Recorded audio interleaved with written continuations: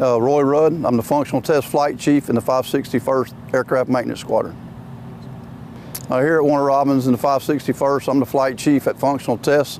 We take the aircraft after a PDM, which is a Program Depot Maintenance.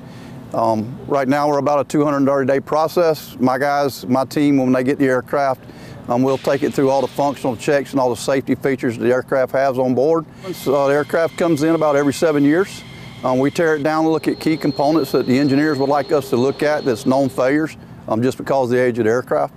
Um, then we have plan work and then we have over and above work where we do inspections to look at things that weren't identified in plan.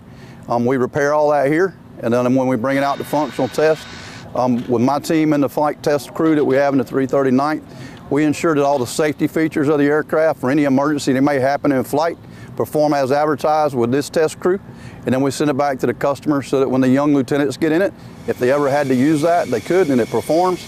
Um, the aircraft was designed in the 70s. Um, of course, we have the E model, which is the most current one that we are dealing with. Um, it's in the 80s, and then you have the EX that I'm sure folks see on the news. Um, they're yet to be operational. It's a great aircraft. It's probably the most capable aircraft design. Um, and Colonel Boyd thought it was a really good aircraft when he was a part of the design team with it. Um, this aircraft, like all the aircraft at Robins Air Force, is a defender of our freedom as well as our allies. Um, here at Warner Robins, we take a lot of pride in what we do. Um, this aircraft brings in work.